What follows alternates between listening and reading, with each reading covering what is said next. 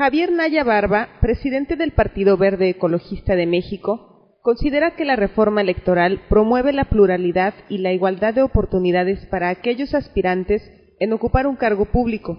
No obstante, asegura que le faltó más empuje a la reforma, pues dejaron a un lado temas como la redistritación que tanto insistía el Partido Verde Ecologista de México. Consideramos una reforma electoral que le faltó, le faltó un poco más de, llegar a fondo. Cuando estuvimos en el Congreso nosotros pedimos una redistritación, no se dio. Eh, pedimos eh, ver, analizar los recursos que se dan a los partidos, tampoco no se dio. Eh, sin embargo, sentimos que con esta reforma que se dio le da más pluralidad al nuevo Congreso. Javier Naya confía en que la integración del Congreso que resultará en las próximas elecciones será más plural, lo que le conviene al Estado.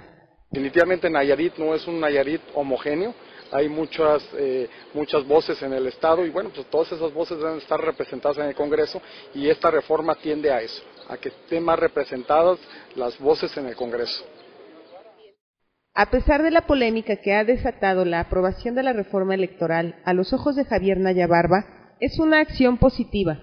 Sin embargo, no dejarán de insistir en los otros puntos de acuerdo de interés general nosotros sí vamos a insistir a que se haga una redistritación. Eh, los votos eh, deben de estar representados uniformemente a lo largo de todo el Estado y actualmente no se da. lo que sí vamos a tener más representatividad en el Congreso y eso es bueno, eso es bueno para la democracia y eso es bueno para que las voces estén representadas en el Congreso. Sobre la molestia que ocasionó la reforma en miembros del PAN y PRD, Javier Naya Barba se muestra respetuoso de las inconformidades aunque no deja de secundar las acciones de los legisladores en dicha materia.